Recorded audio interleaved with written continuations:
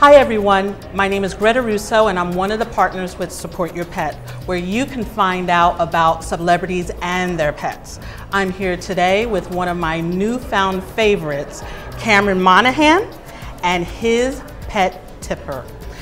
Cameron can be found in so many great movies as well as TV shows. He's been acting ever since he was small, but now you can find him as a series regular on the Showtime hit, Shameless. Cameron, can you please uh, tell us a little bit about it? Yeah, uh, it's a it's a Showtime show, as you mentioned. It's been on for four years. We're moving into our fifth season right now. And basically, it's about a struggling family in Chicago where the uh, the mom's not there, the dad's an alcoholic, played by William H Macy, and so the kids are taking care of themselves. Ah. And uh, I'm one of the kids. I'm the middle child, Ian Gallagher. Okay. Yeah.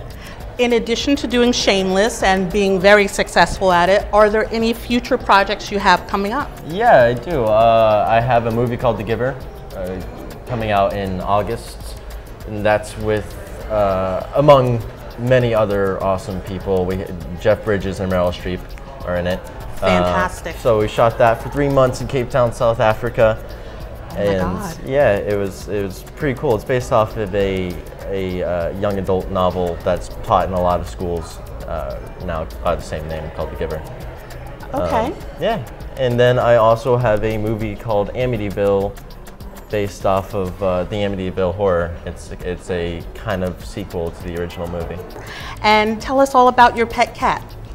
Uh, Tipper is 19 years old. She's an old lady now.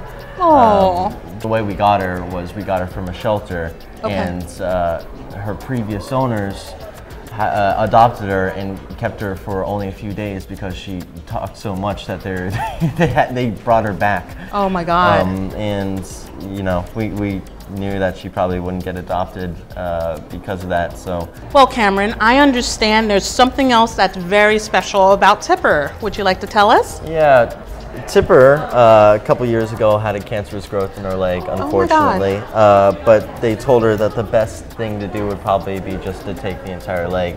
And uh, that was really scary. We didn't know what was going to happen. But the Okay. amazing thing about her is she's so resilient that you know within within uh, a few weeks she had completely figured out how to walk again. Wow. And she's been completely happy and mobile as ever.